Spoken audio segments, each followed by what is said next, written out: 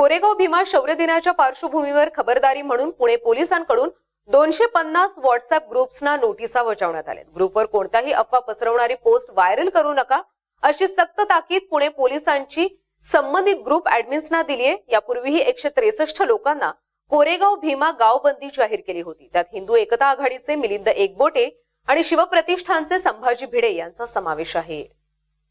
कोरेगाव भीमा इथं एक जानेवारीला होणाऱ्या विजयस्तंभ अभिवादन समारंभाच्या पार्श्वभूमीवर पुणे ग्रामीण पोलिसांनी हा निर्णय घेतलाय.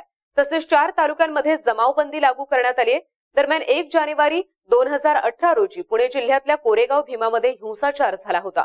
पुणे ग्रामीणचे अतिरिक्त एसपी जयंत मीना यांनी सांगितलं की भीमा कोरेगाव इथं एक जानेवारी दोन हजार वीस रोजी होणाऱ्या विजयस्तंभ अभिवादन समारंभाच्या पार्श्वभूमीवर खबरदारी म्हणून दोनशे पन्नास व्हॉट्सअप ग्रुप्सना नोटिसा पाठवण्यात आल्या अफवा पसरवणाऱ्या ग्रुप्सना इशारा देखील देण्यात आला आहे.